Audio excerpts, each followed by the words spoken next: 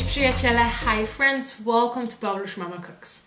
In a week, we celebrate Fat Thursday, tłusty czwartek. So today I want to show you how to make faworki, also called chrost, with beautiful lemon flavor and some vinegar instead of alcohol.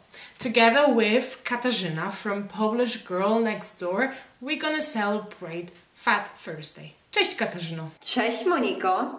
I plan on making faworki using your recipe. And for Tłusty Czwartek on my channel, I will be sharing what other fried desserts in addition to faworki are consumed. I will also share some history about this special day. I hope to see you on my channel very soon. So I like to start making my faworki in a bowl. I have flour and I'm gonna add to it a half a teaspoon of salt and a half a teaspoon of sugar.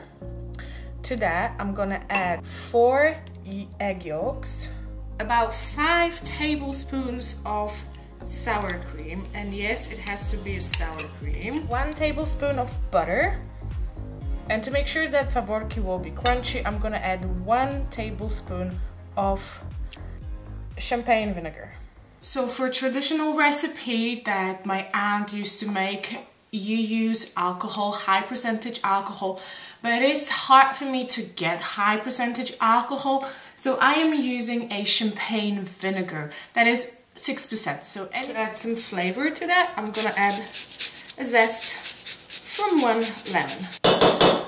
So I like to start making my faworki in a bowl so the dough firms in it, doesn't make a mess and then I'm gonna put it in my pastry board and start to knead it for about 5-10 minutes until it becomes one beautiful bowl. Next, now I'm gonna put it in a bag and let it rest for just a few minutes. When your dough is ready, what you have to do is put it on the pastry board and then take your roller and just beat it. What this helps is with your biceps and also get all your frustration out. With COVID, with anything you want. And then you fold it.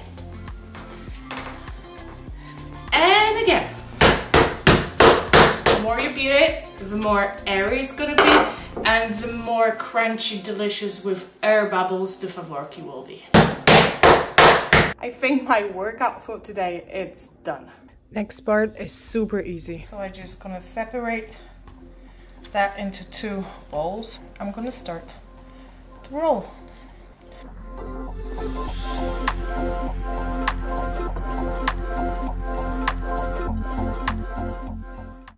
When it's thinly rolled out, take pizza knife and cut the dough into rectangles. Make an incision in each of the rectangles and then take one side of it and then push through the middle. And here you have it, an angel wing.